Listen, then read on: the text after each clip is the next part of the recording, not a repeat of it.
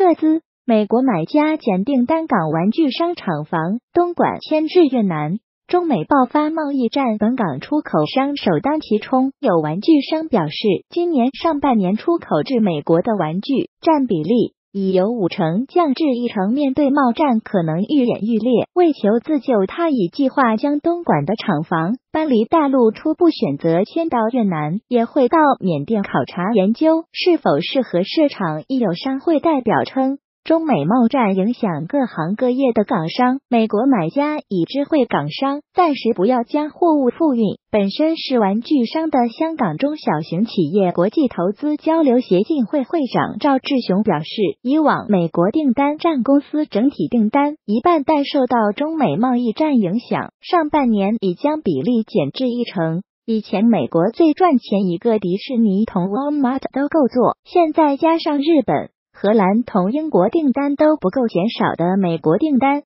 他又指以前有美国订单，贷款和按揭都容易低做到，但现在英国订单去银行根本不会理你。赞助商链接，赞助商链接。他透露，自从六月中美贸易纠纷加剧，就算有美国买家落单，都不敢接直言，难以估计特朗普的言行。担心政策朝令夕改，得不偿失。是次中美爆发世纪贸战，打击到中国的世界工厂地位，亦间接加速港商将厂房搬离中国的步伐。赵志雄表示，已率先将半制成品外判到越南加工及运送到目的地，而最终目标是将东莞的厂房迁至越南自行生。产，但他认为当地营商环境与大陆有很大分别，加上言语不通，想多了解当地情况才付诸实行。他又表示，将于八月到缅甸考察，了解当地地价及工资筛选适合地方。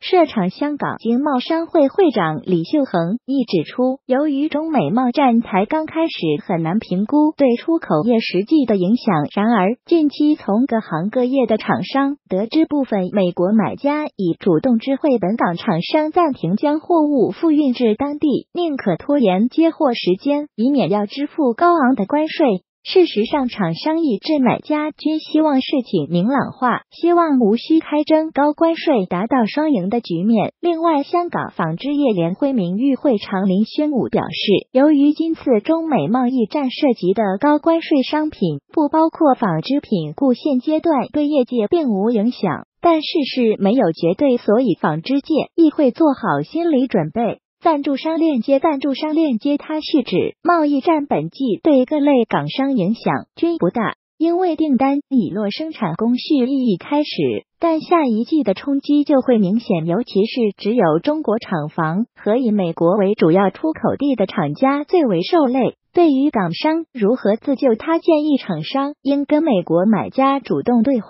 增加来自东南亚厂房的出口货品，减少来自中国厂房的出口货品，亦应设法把出口市场转到欧盟以至日韩等地，以减低贸战所带来的冲击。香港电子业商会荣誉会长陈其标则较乐观，因为其公司主要接欧洲订单，美国。订单只占个位数百分比。香港作为转口港，电子零件不是主要货品。又指香港不是美国打击对象，只是陪葬。它是指美国不按牌理出牌，认为贸易商应持观望态度和开拓不同市场自保。